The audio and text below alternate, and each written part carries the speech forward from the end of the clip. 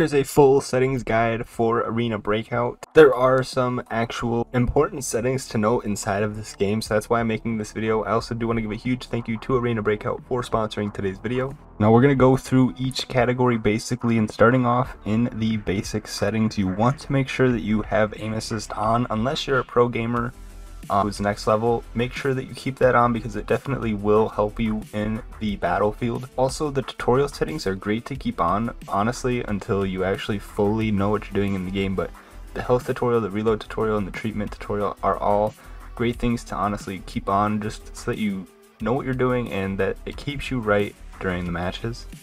For controls inside of the HUD, there are a few unique buttons inside of this game. For example, they have the health indicator, which is going to show your body, show your body parts. For example, if you get shot in your arm, your arm will turn red, and if it goes completely out of commission, it will turn completely black. If you get shot in the head and you get one-shotted through a headshot, your head will also be completely black. Same thing for your legs, for your abdomen, so on and so forth. There also is a sound indicator that is very useful. It will tell you when there are enemies close by or when there are enemies really really nearby right next. So both of these things are very nice to have and you want to make sure that they are visible whenever you are playing. So if you're holding your phone or iPad, make sure they are in a spot to where you can see them at all times.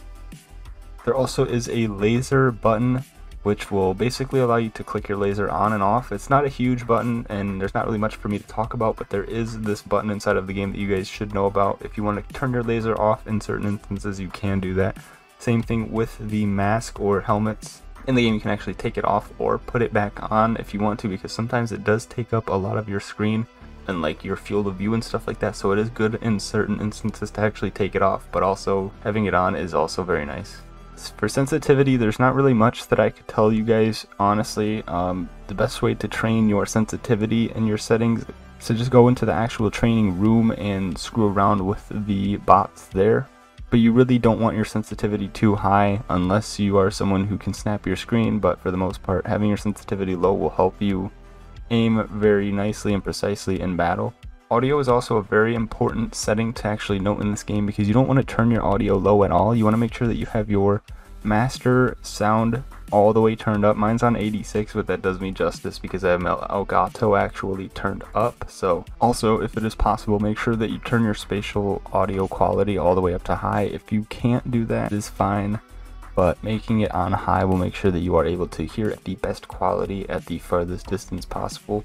It gives you more crisp and cleaner knowledge on what is actually going around in the area. For graphics, this is honestly really dependent on your device, but if you have a lower end device, I highly recommend playing on lower graphics but higher frame rate. If your phone can handle it or if your iPad or tablet can handle it, definitely turn your graphics up because this game looks beautiful. It looks absolutely amazing. It's one of the best graphics on mobile that we've seen ever, so you are able to, definitely turn your graphics up, but you can play on low graphics and it actually might help you see enemies better because they do have to take away certain assets and just things around the map to actually make the game run smoother. So if you turn on smooth graphics, you might have an easier time seeing people, but the game just looks gorgeous when you have it on HDR or Ultra, so yeah, with that though, that is really all that you need to know for the settings inside of Arena Breakout. So I appreciate Arena Breakout. Thank you guys so much for sponsoring today's video. Again, if you guys are new, make sure to drop a like on this, subscribe to the channel. Both of those things do help me out a ton. My name is Intense. I will see you in the next one. Have a good rest of the day. Peace.